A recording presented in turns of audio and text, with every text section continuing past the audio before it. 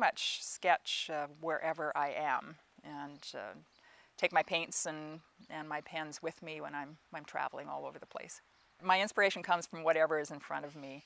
There would be something about it with the shape, the shadow, the color, the line that I go, oh, that's interesting. And I, and I can tell when my fingers start to itch a little bit.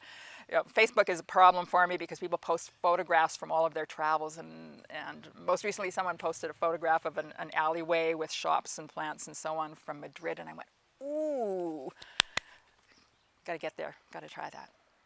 My name is Patricia Katz, and in my working life so far, mostly I've been a speaker and a writer, and most recently, uh, an artist. Developing my skills as an artist uh, and getting involved in art actually is something that is kind of new to me in the last 15 years or so. So I started looking around for what would be juicy and exciting to get engaged in.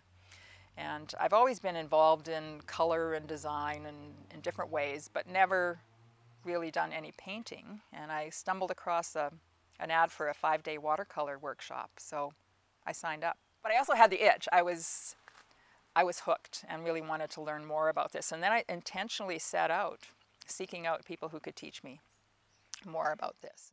Well, when it comes to painting and sketching, I think the best thing about it is that it actually keeps you in the moment.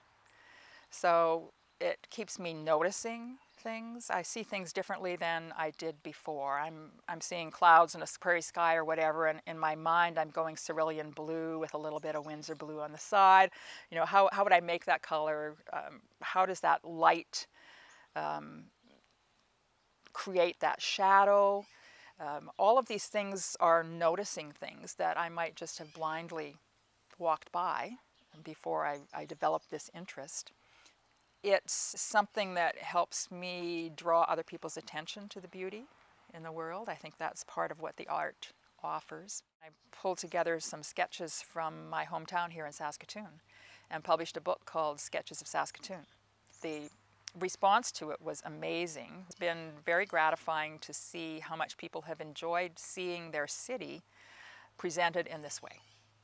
And those copies have made their way to Australia and Germany and all around the world as people share what Saskatoon has to offer. So that, uh, that's a delight for me to see that people enjoy the work, uh, enjoy the art for one, but also want to share this place and this expression of this place with other people.